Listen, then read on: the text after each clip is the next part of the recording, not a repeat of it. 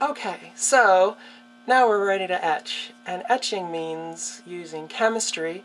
And if you use chemistry, you're really going to want a vent hood.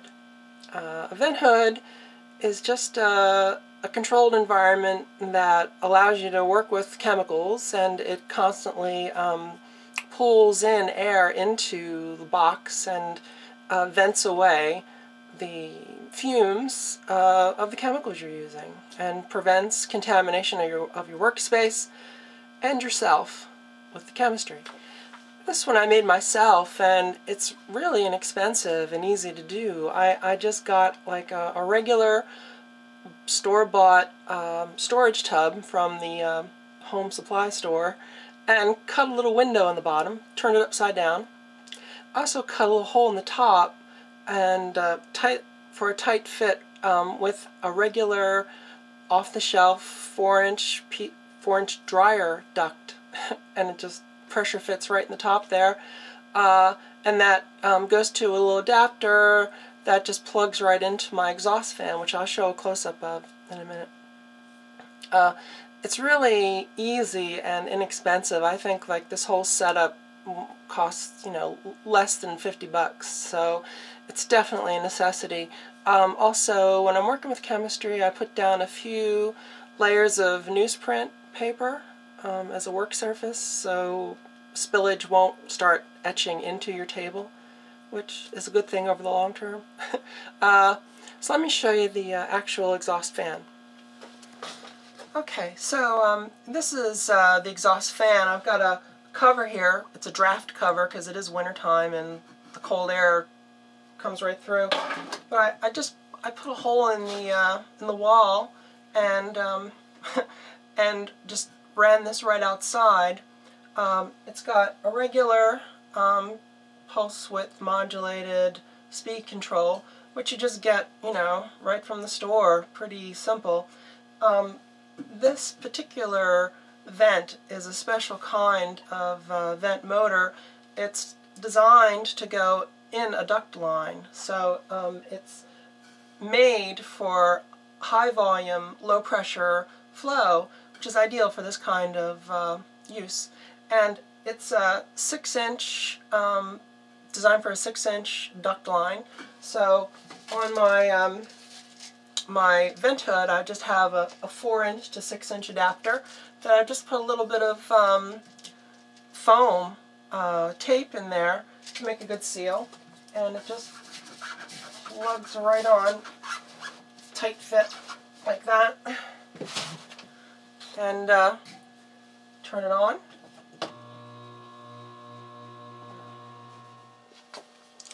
So there's uh, there's a few different ways to go with etching. Um, there are several different chemicals that people do use. Um, some people use solutions of hydrogen peroxide.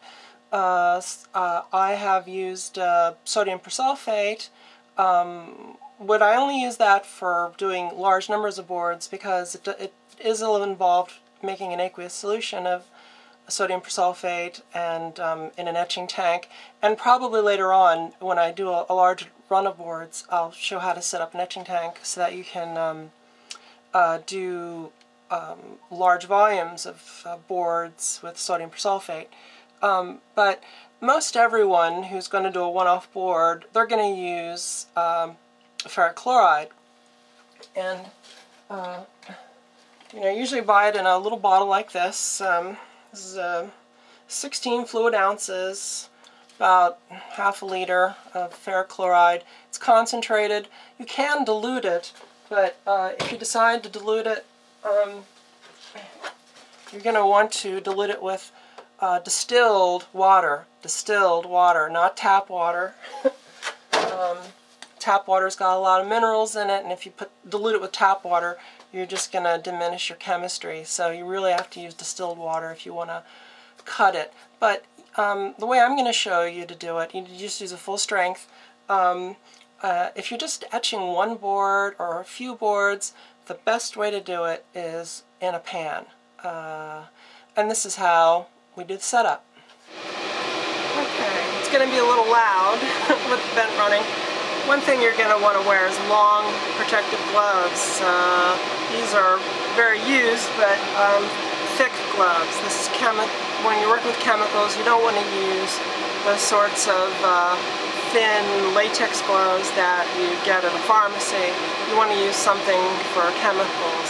I, rec I recommend uh, nitrile gloves or um, gloves that are uh, made specifically to handle solvents and oxidizers, which uh, ferric chloride is an oxidizer.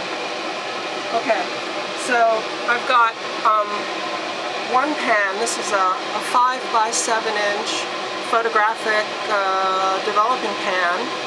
Uh, and got another tray here that's just filled with uh, water, just regular tap water, and that's for the rinse because you're going to want to put it in there um, I have a pair of um, just regular bamboo photographic tongs, again, to, just to pick the board out of the etchant and put it in the uh, in the uh, wash uh, to let it uh, uh, to wash the board after I etch it. And um, this is one of the boards that I made up uh, in the last part. I'm just going to lay it um, copper side up in the tray.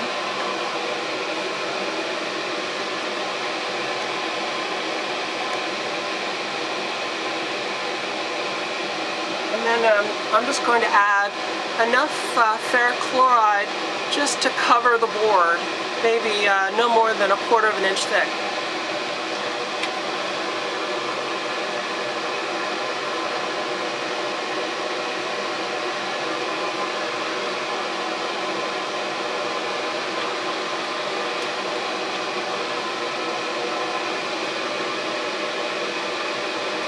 And I'm just going to, um, with a, a, little motion, just uh, keep a wave motion going over the board.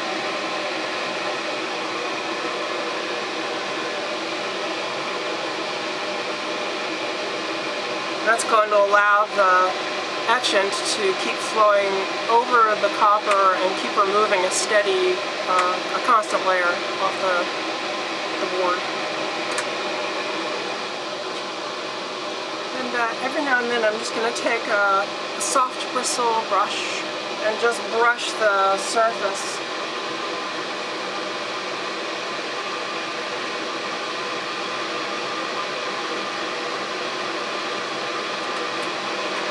And uh, brushing the, the top of the board just very lightly, it just skims off the, um, the gunk that builds up on the board as the uh, ferric chloride etches out the copper.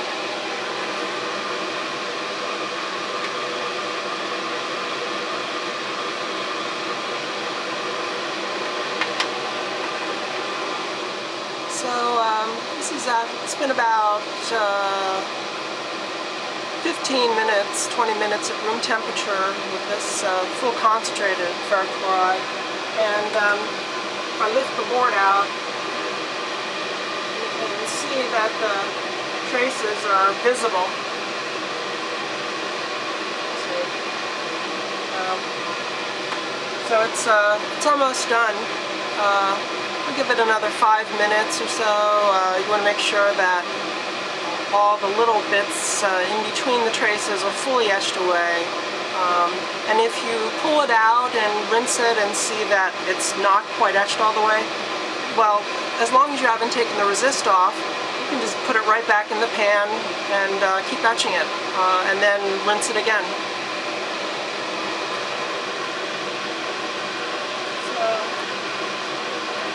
It's almost completely uh, etched.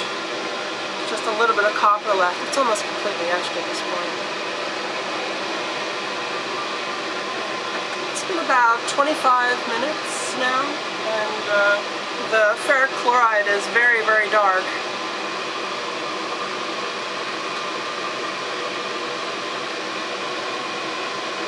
Looks like, looks like it's completely etched.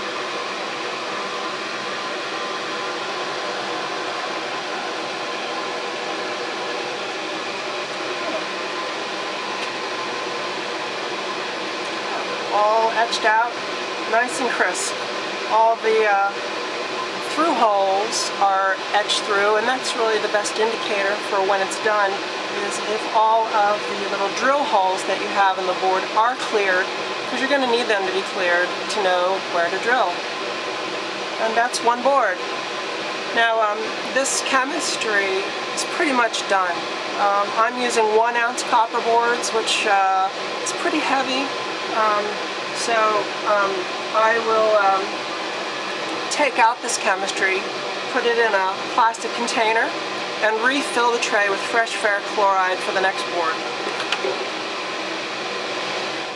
Okay, now that the boards are etched and ready to uh, move on, we're going to take the resist off.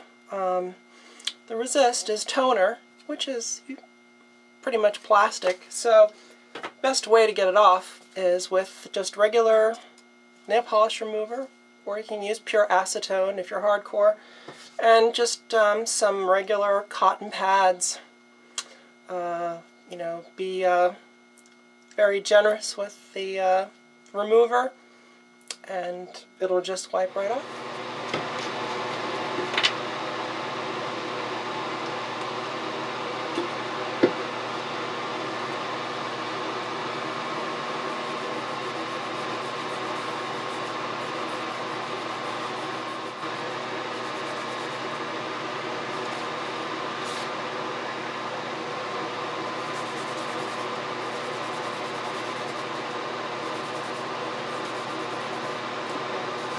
and just um, a little finishing buff um, just to get the last little bits of toner off.